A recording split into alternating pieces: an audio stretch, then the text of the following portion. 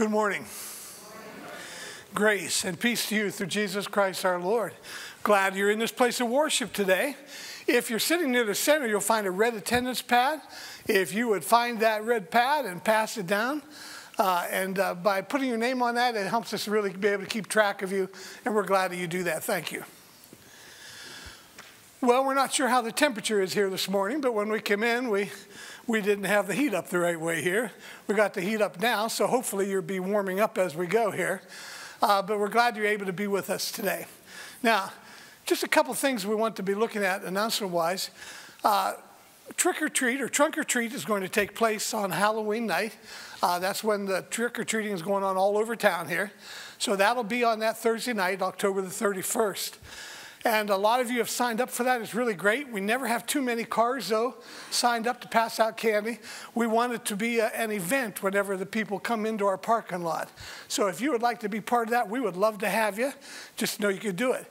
One of the things that we're discovering right at the moment is that, uh, th that we uh, served, last year we served about 500 cups of hot chocolate and uh, we're going to be doing the same thing again. And instead of everyone just bringing different kinds of hot chocolate light, if, if you wanted to help out with that, uh, just a, a, small gift or whatever, uh, and wanted to help out with that, all you need to do is take, a, take a, uh, your gift and put it in an envelope that's in your pew and mark it hot chocolate. That's a good clue. We'll know what it's for, okay? And then we'll be able to have the hot chocolate ready to go. Um, the other thing that's in your pew, you'll find a red pad or a red envelope as well for Operation Christmas Child. And um, that's going to be, we're going to have a packing party on November the 7th. And of course, the cost of, of being able to send a box now, I believe, is about $9. And if you'd like to put uh, uh, cash in the envelope, that would go towards sending the, the boxes out. Uh, but in the meantime, I'd like you to see this short video. We're going to take a look at it for Operation Christmas Child, and we get to get the flavor of what we're doing. The countdown happens, and the cheers just erupt everywhere. They jump up with joy. They jump up with smiles. They just now got their boxes. They're opening them. And the fun is watching the children. This could be the first present that they've ever received. These children just received the shoe boxes. You can see how excited they are. Operation Christmas Child gifts really touches children's heart. This shoebox is a demonstration of the love of God. During distribution, we tell children that there is a God who created us and who loved us.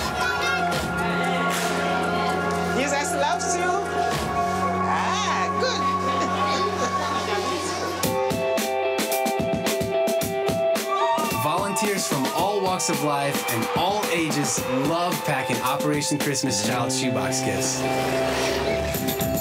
What an amazing moment and opportunity to show people, to really show people the love of God. Samaritans Purse would not be able to do Operation Christmas Child without this army of volunteers. They're like angels. It's just a special opportunity to reach people with the love of Christ. By the way, we are so grateful for these boxes and what they represent. Lives are being changed and souls are being saved and the Lord is receiving the glory. So to God, I'm, I'm about to cry. Please. Once you pack the shoebox, from there they'll be sent all around the world. And that is only the beginning. After children receive gifts, we welcome them to the greatest journey 12 lesson discipleship program. The program introduces them to Jesus Christ and teaches them stories from the Bible. It sets a good Christian foundation for them and sends them on a brand new journey of life. Isn't it incredible to see the impact these simple gifts are making in the lives of children all over the world? Millions of boys and girls hearing and responding in faith and then taking the gospel truly to the ends of the earth. A lot of these children, their life is absolutely transformed. Jesus said, let them come to me. And we're in the middle of bringing the children to Jesus. What amazes me the most is the miracles in each box.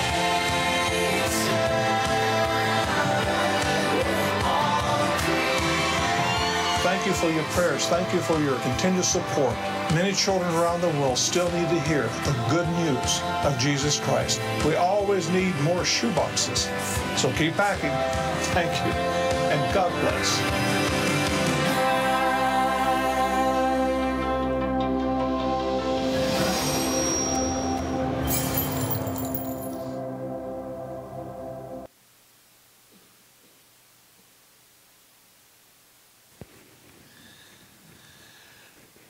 So for that reason, the red uh, envelopes are in the pew, and, and you can use that to help finance that. Plus, if you would set aside November the 7th for the packing party, which will be packing about uh, uh, 200 boxes, and that gets done best with a lot of hands. I know that when I work really fast, there's just a few that I get done, and so we really need as many people as possible to enjoy that. It was a fun night last year, and I think it will be again. Now, as we, uh, as we get ready to, to begin the, the worship service today, um, I want you to just uh, take a look around at, at, some of those that are here and some of those that aren't here and, uh, and just say, say hello to them. So, will you take this moment and greet one another in Christ's name?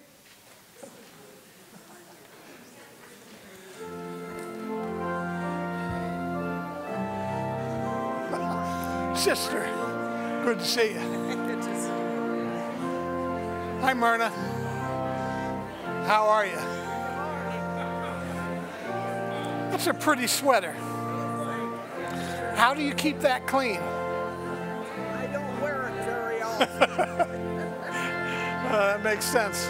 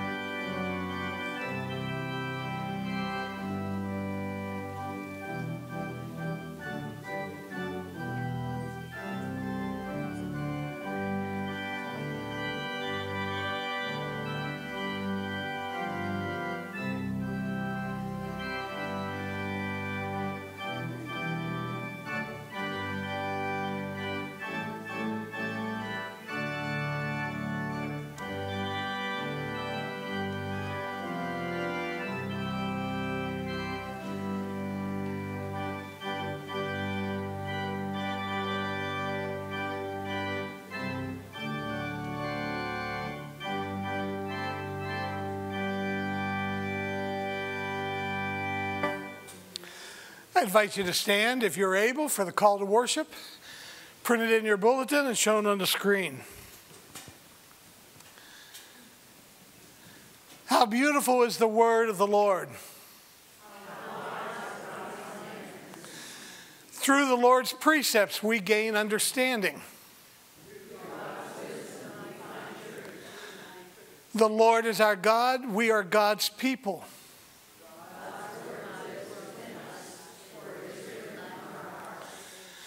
Living word, great teacher, lead us and guide us. Amen. We remain standing as, as we sing together, number 400 Come, thou fount of every blessing.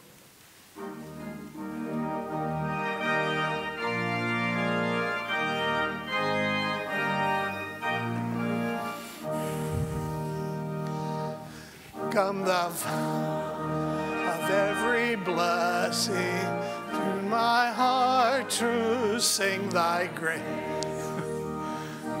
Would you?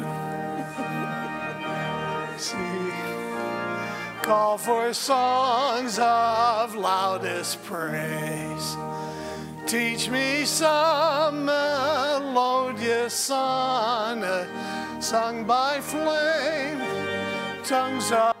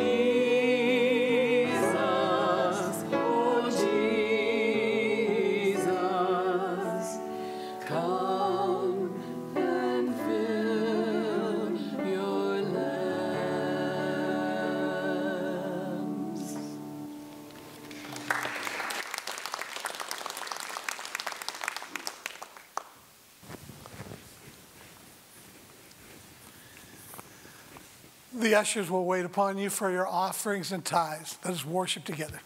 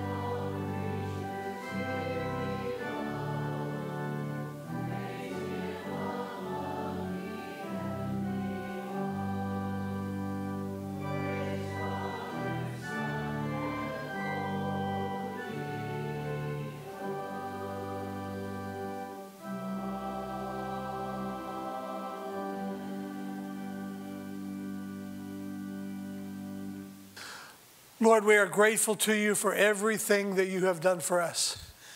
The cattle on a thousand hills belong to you. You are the giver of every good gift. From the abundance with which you care for us, we bring back to you and lay a portion at your feet. Asking, Lord, that you use these gifts for your kingdom here, around the world. In Christ's name we pray. Amen. You may be seated. Thank you. Thank you. I want to invite the children to come forward at this time.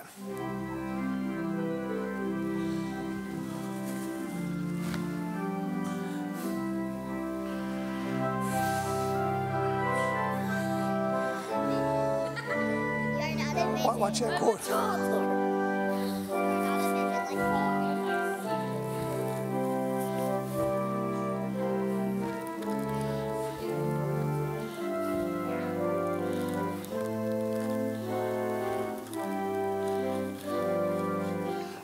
That for me?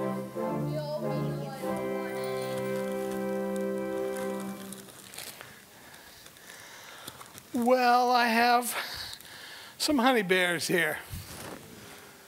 Honey bears have honey in them here. we, uh, we found out that this was a little cold this morning, and it was tough to, the bear didn't want to give it up very well. Master, would you come down here and hold that? And I need you to hold that with both hands because if this flips upside down, uh, I would be in trouble with the people who try to keep this place clean, okay? So you got a hold of it? Got a good grip on that? Of course, is do I. Okay, here we go. I think a table would have been nice here. Look at that. We're just going to let that pile up there, I think. Nothing. How many of you adults back there would love to have a taste of this honey right now? You know, in the Bible, when it talks about a land flowing with milk and honey, it was all about animals and, and milk. And then anything that was called honey was that which was sweet. Yes, honey, as we know, coming from bees, but also honey that, that would be from dates or grapes, anything that would be dried out and become sugary in some shape or form. That was honey. So here, I think we've been able to do pretty well. Madison, you've done this very well. Thank you very much. Experience tells me that uh, we'll just keep that right there. Now, I can take that for you for the moment.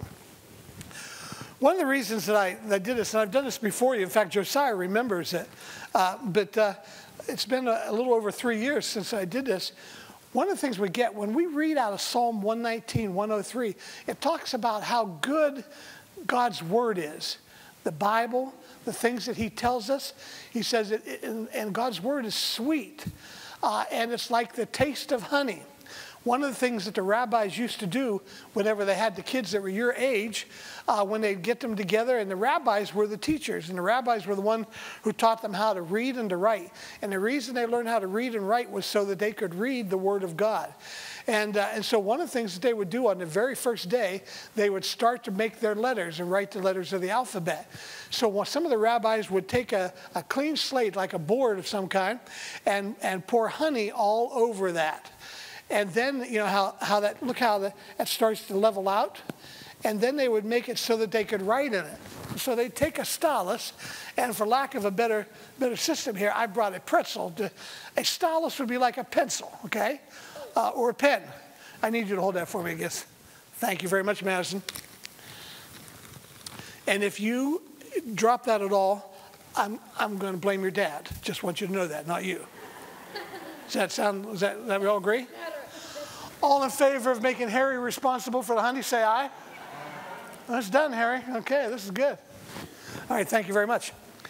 So he would, he would take the stylus and he'd have them write, I'm going to make an X. Because in, in Greek, they, they wouldn't have been writing in Greek right away, but in Greek, X is the first letter for Christ. Uh, it's come from Christos, which is like a X in English, but an X is, is uh, really how you make that hard sound for Christ. And so if I put an X in there, and then that reminds me of, uh, of Jesus. And then he'd tell the students, now having written God's word or the name of Jesus, he says, now taste it.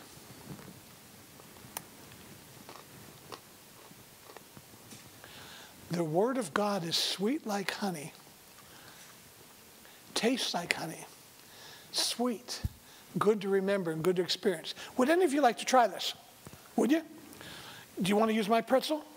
No, no I didn't think so. Good decision. Madison, would you like to try it? You've already done a lot. Good. So Madeline, so it's a good thing. It's a good thing we got you here. Okay. Uh, you don't like honey, right? I got you. I don't like it Then you're going to get to double dip. We never double dip, but you're going to get to double dip here. All right.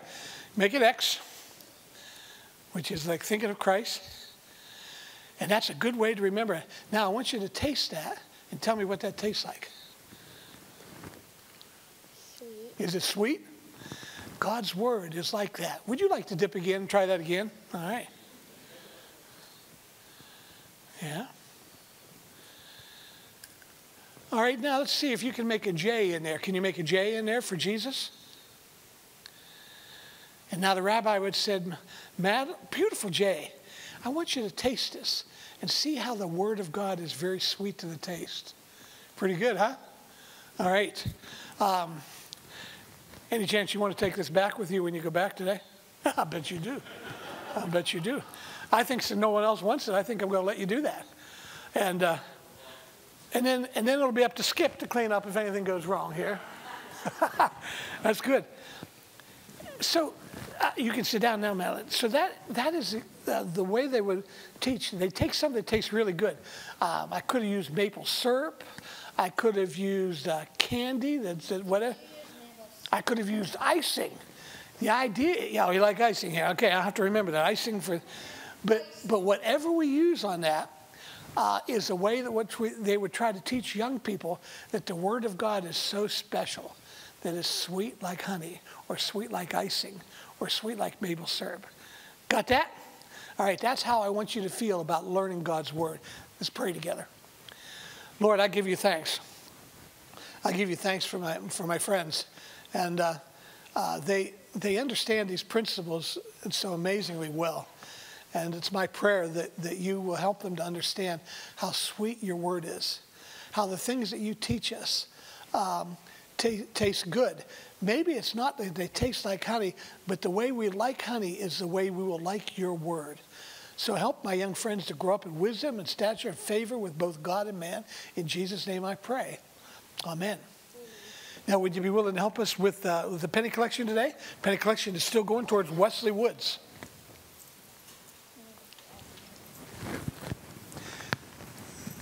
Over here on this side is where they are.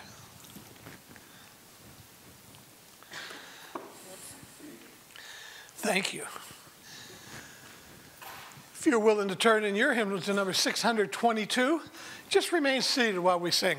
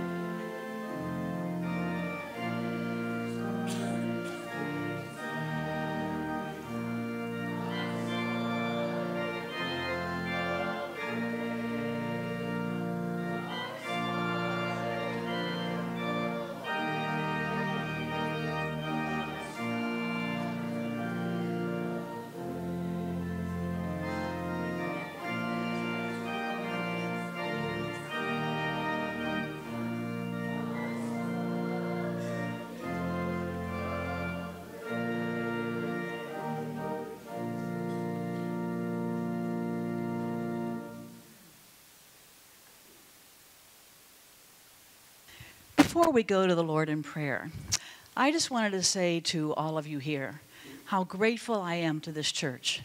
You were not only a financial support for the Titusville Ladies Conference, but your prayers and, and just your support meant so much to 150 women who came from all over this weekend just to be transformed by the Lord. And that is a very special thing to be able to say that. Now, so over the weekend, I was reminded that Jerry and I have been here about seven years now.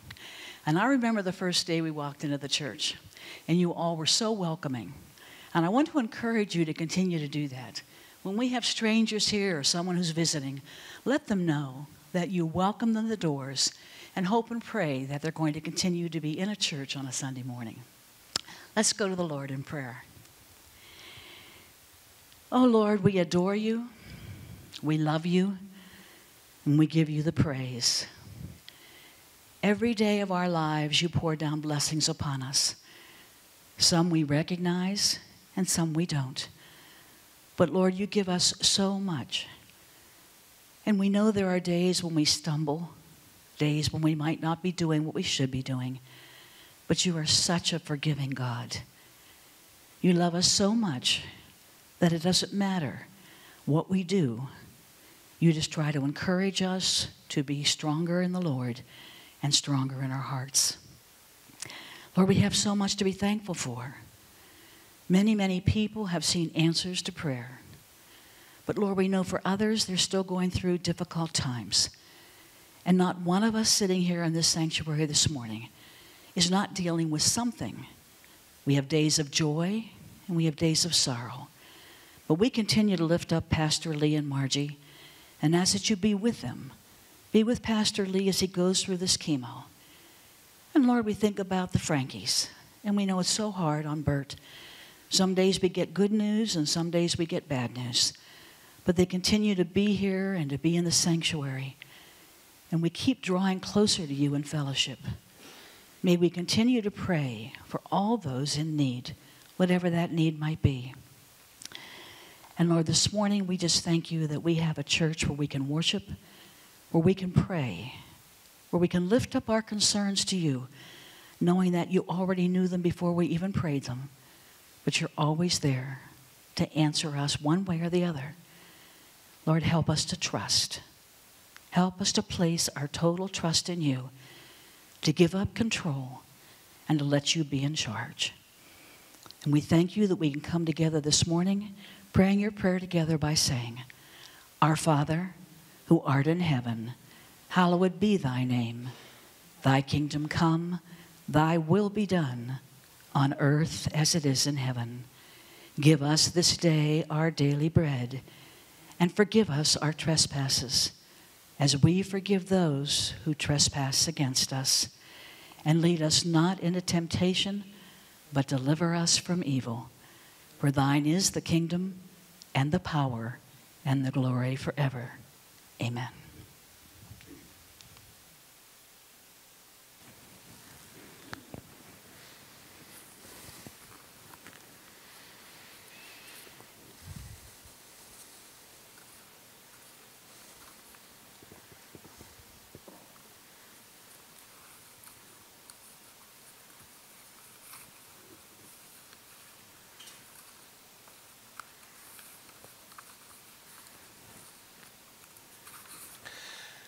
Just a reminder to all of you that there are a number of classes and Bible studies you can participate in during the course of this week. Uh, and uh, just keep reading through your bulletin. Uh, please know that the Finance Committee is not meeting this week. I want to make sure that I clarify that. Uh, secondly, I know that the Bible study that usually meets out of Romans starts tonight, meeting right here in Murray Parlor. Um, it, uh, the Bible study starts right at 6 o'clock, it ends at 7. But if you'd like uh, to maybe share a little bit of food and such, uh, come before that. Come earlier in that. Anyway, time after 5:30, there'll be sharing a fellowship there, and then the Bible study starts at six. Just know that you're all welcome. The scripture today is taken from the book of Jeremiah, chapter 31, beginning in verse 27.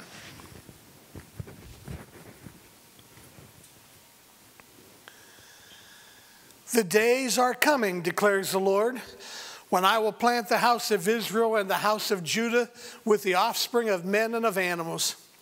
Just as I watched over them to uproot and tear down and to overthrow, destroy and bring disaster, so I will watch over them to build and to plant, declares the Lord. In those days, people will no longer say, The fathers have eaten sour grapes, and the children's teeth are set on edge. Instead, everyone will die for his own sin. Whoever eats sour grapes, his own teeth will be set on edge. The time is coming, declares the Lord, when I will make a new covenant with the house of Israel and with the house of Judah. It will not be like the covenant I made with their forefathers when I took them by the hand to lead them out of Egypt, because they broke my covenant, though I was a husband to them, declares the Lord.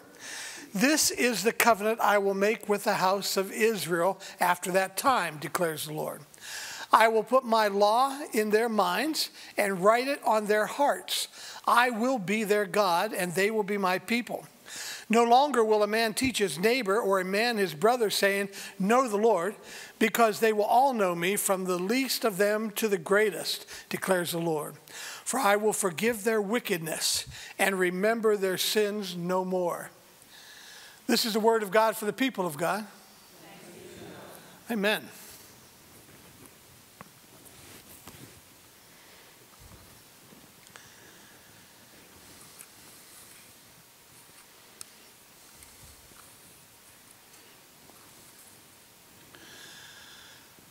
I sometimes have to divide up the congregation to those who were alive in 1960 and those who were not.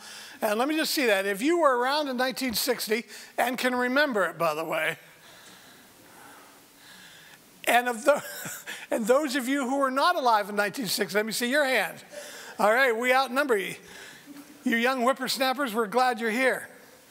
Uh, and I'm probably guilty sometimes of talking about old days way too much but that's who I am, so just deal with it, okay?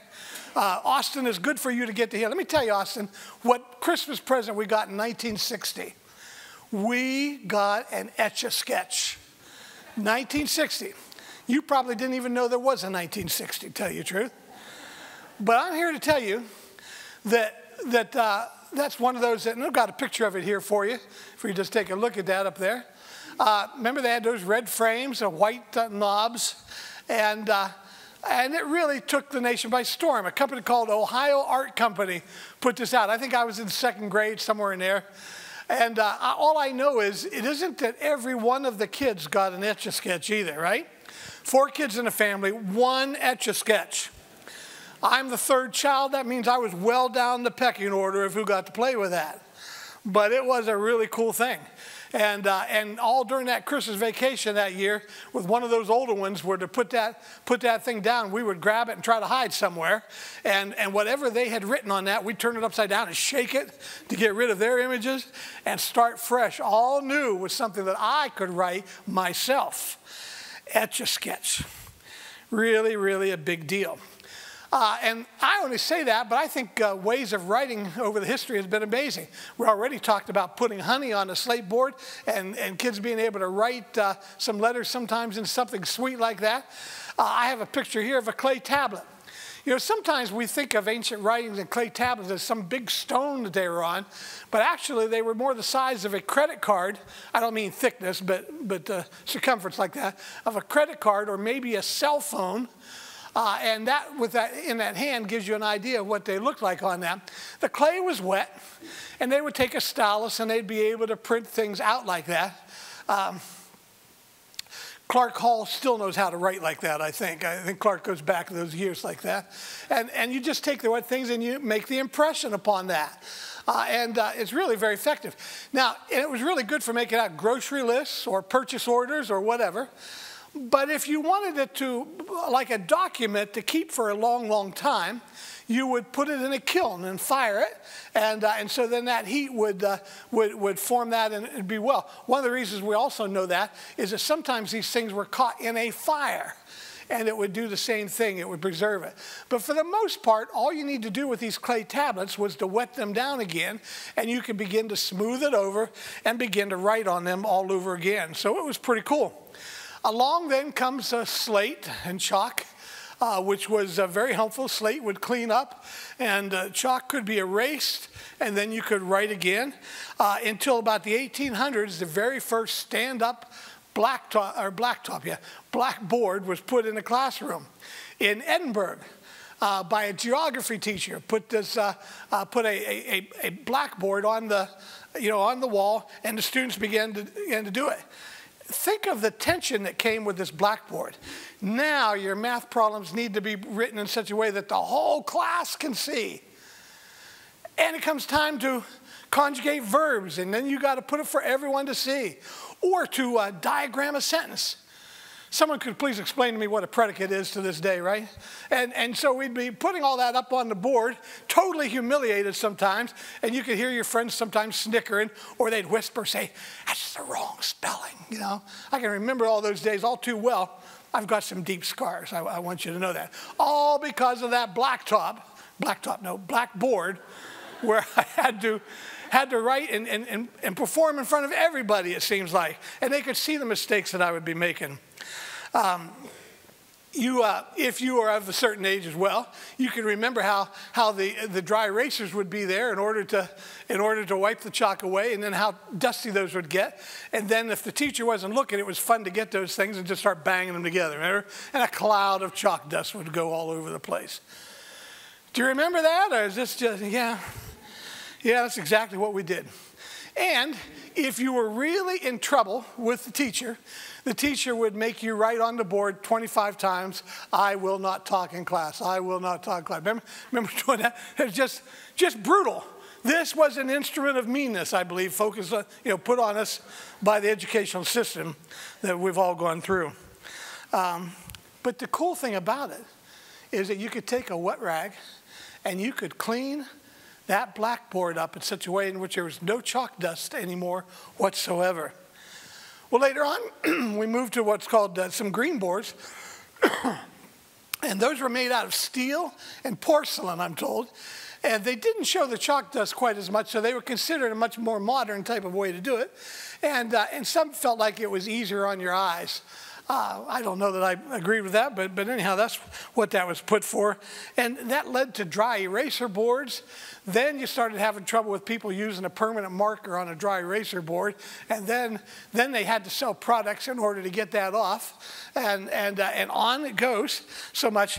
So I happen to believe that the Etch-a-Sketch was the finest of all kinds of things. And for those of you in the 60s, you'll recognize uh, Leonard Nimoy, and all, all you uh, trekkers out there uh, would recognize that. That's a, that's a hard picture to be able to write on an Etch-a-Sketch, isn't it? Because you could, you could draw straight lines really well. And, and, by the way, the way those work, it seemed like magic to me as a kid. But the way that, that works is, is that there were these uh, polystyrene beads in there, along with uh, aluminum dust uh, that, that that was set up so that it wouldn't clump up. The beads kept it from clumping up. And that would cover the inside of that screen so that when you moved a stylus around, it would wipe that dust off and you'd have a black line there. To me, it was as magic as possibly be. But what I really liked was when my brother and sisters were drawing things on that and I wanted my own picture, I could shake it and get rid of their image and put my own on that. Uh, circles and curves were were really unforgiving, but I could start over again and again. Well, that's different from what the Israelites felt in Jeremiah's day. For them, the law of God was written on stone. The law of Moses was written on stone. Everyone knows that Moses looked like Charlton Heston, so I always keep that image in front of you. But it's just written in stone, and, and there's no, it, it's so hard and fast and unending um, Ten Commandments were put on there. It could have been written in clay tablets, but those could be smoothed over. Um, in fact, from Rome and, and, and, during the Roman Empire, we get the phrase called, I think, tabula rasa or rasa, or whatever that is, but clean slate. Uh, my Latin is, is, is, hurting here big time. But we get the idea of a clean slate, where wipe it clean, but not the Ten Commandments. They were etched in stone. The Israelites carried it with them everywhere they went. And what do we know about the Ten Commandments and, and the Old Testament law? It was there to show us how we don't measure up to God uh, and that He's a holy God. And, and all we did many times, we've seen how many times we, we fall short of the glory of God. And so the Israelites had this elaborate uh, system of sacrifice and forgiveness that they would have to perform in order to, to seek the forgiveness of God. And once a year, there, once a year there would be this uh, uh, national type of a thing where the, where the sins were placed on the, on the, uh, on the, on the goat and driven into the wilderness.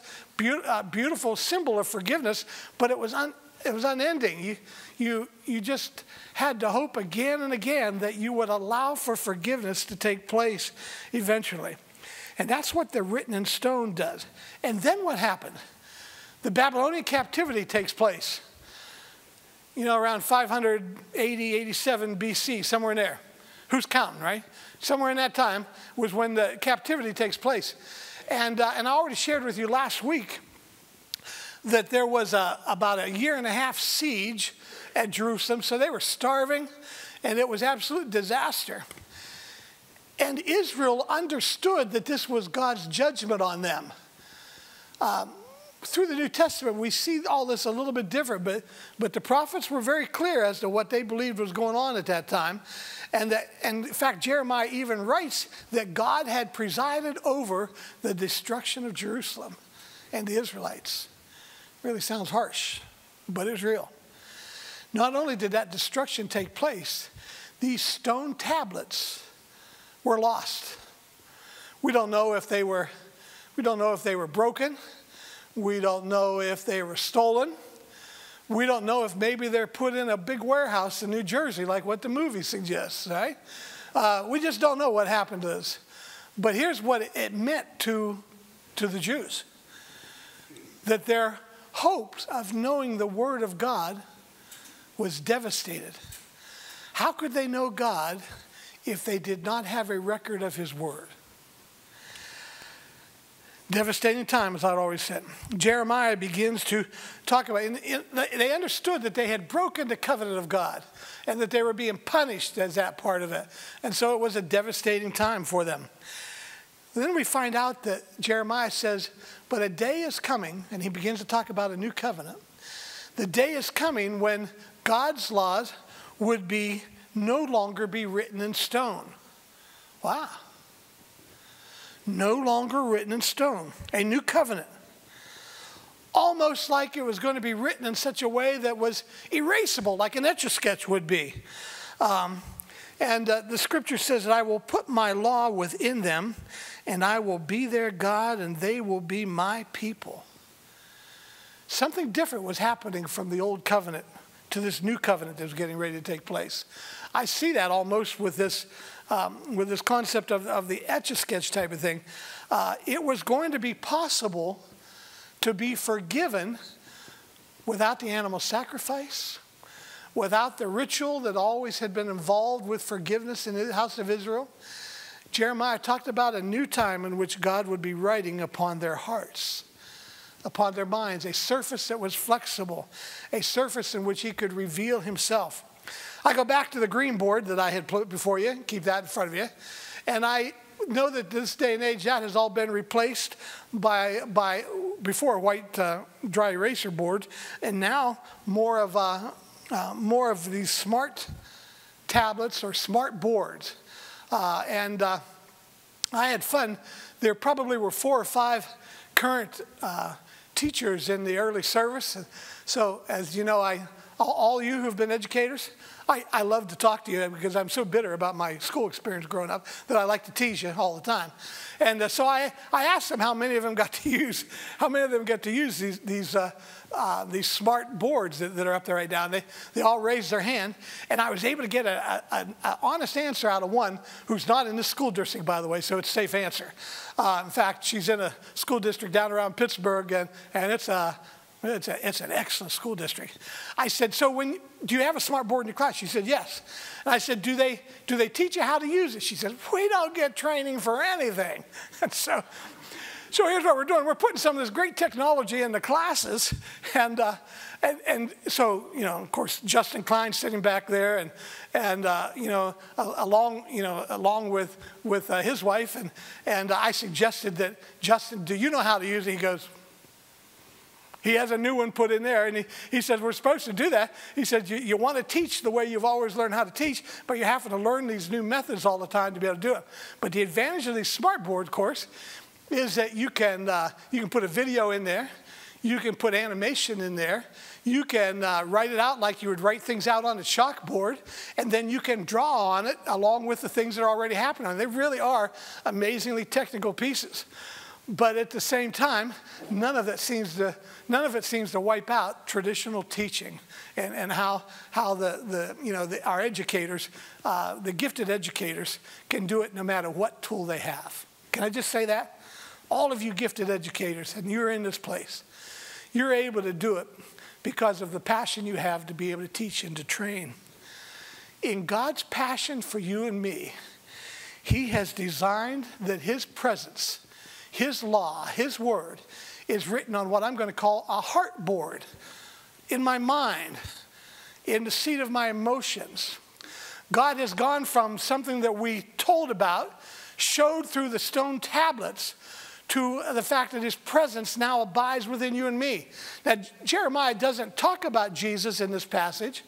He doesn't talk about the Holy Spirit, but he does talk about a new covenant, a day that is coming in which uh, in which God will write his law on the inside of our heart. How many of you have a conscience to this day? How many of you know what it's like to fall short of the glory of God or to treat someone in a way in which you don't, you know you should not?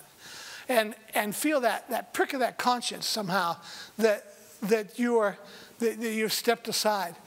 That means that the law of God, His presence, is written inside you now. It isn't just something that we need to fret about. So when Paul is writing in the book of Romans, and he talks about natural revelation that, that people, uh, even people who have not heard the name of Jesus, simply know that God exists because of what they see.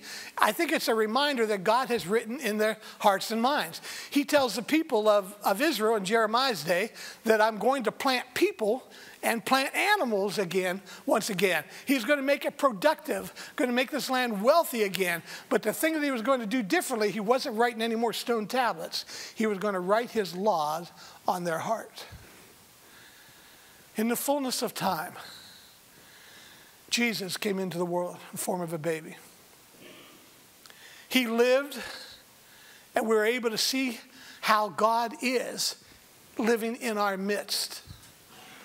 You know, the history of God's presence is done like this. I'll just do a quick overview, but, but uh, you've heard this before, but just, just do it again. Whenever the Israelites were first going out to worship God, they needed to go to the mountain, Sinai, in order to witness his presence, right? A little bit later on, when they were traveling in the wilderness, God came down and inhabited the tabernacle. And they celebrated the presence. And the way, uh, the, way the tabernacle and the, and the tribes were set up, they were set up kind of a north, south, east, west, with God at the very center in the tabernacle. A beautiful symbol of God being with them. Later on, they were able to build the, uh, the, the, temple that David was planning for, and Solomon was there. And they celebrated the, the beauty of, of, of God being in the midst of the nation of Israel. And then Jesus comes into the world. We have language like, we are the temple of God. Jesus abides in us, He lives within us.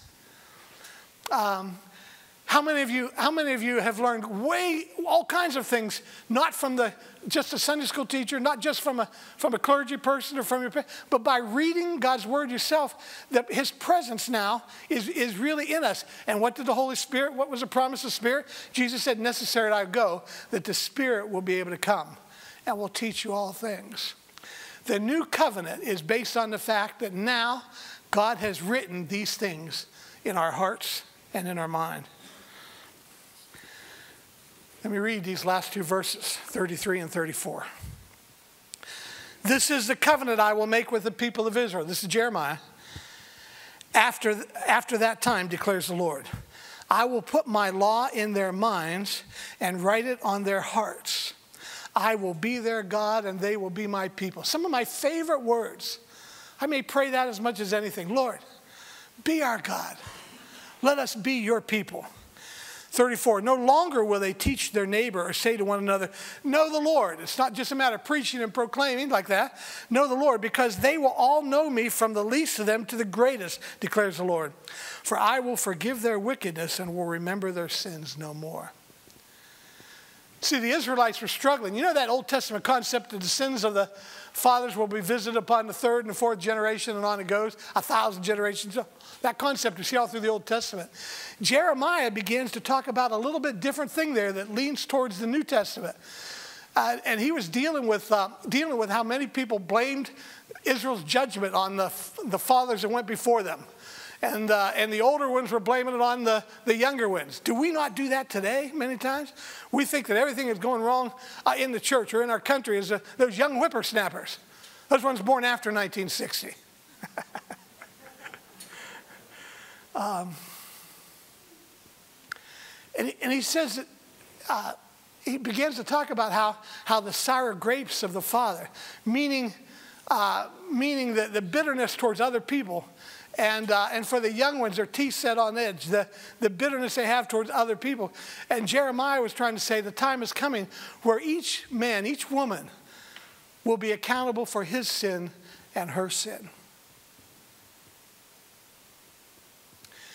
You're probably sitting beside the person who has forgiven you more than anyone else, right? Or you wouldn't still be sitting with them. I just invite you to take a moment and think about what all God has forgiven you from. Would you do that? It's a good exercise. We don't do it often enough. I'm not wanting to bask in sin. I just want you to think about everything that you have been forgiven. You've invited Jesus into your heart, and into your mind. He's taken your sin away. What has He forgiven you of?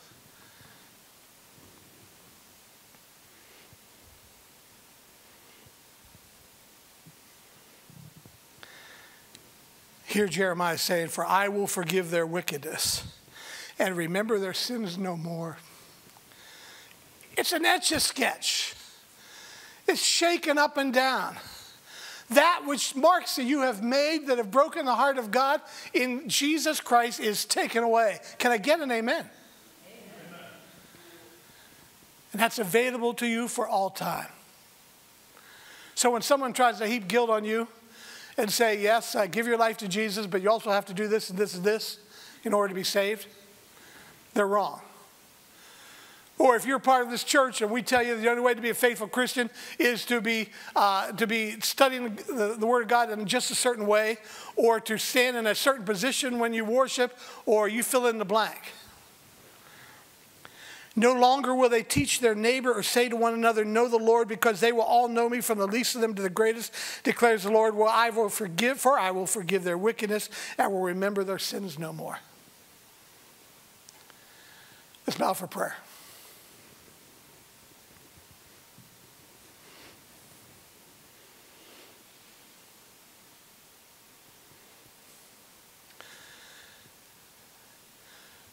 Lord, what a privilege to be a pastor amidst your people. Sometimes the chief of sinners, but I have been forgiven so much. And I cherish it, Lord. These people that are your people that I love stand in need of a fresh visit from you. Shake up their sin right now, Lord, and erase it. Erase it. Fill them with your spirit. Continue to write your presence upon their heart. In Jesus' name I ask it. Amen. We're going to close in singing today, Alas, it did my Savior bleed. We're going to do verses 1, 2, and 5.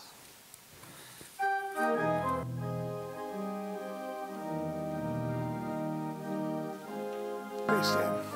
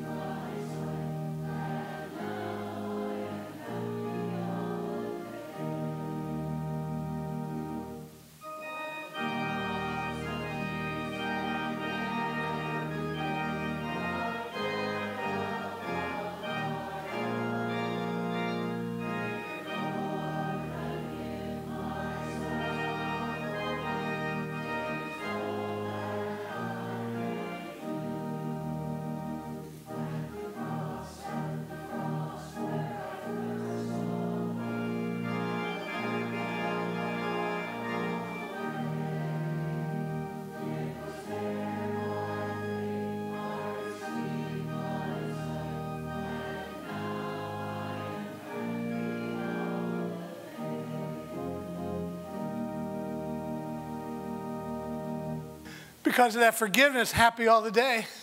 Have a very good day in this new life with Christ. In the name of the Father, and of the Son, of the Holy Spirit. Amen.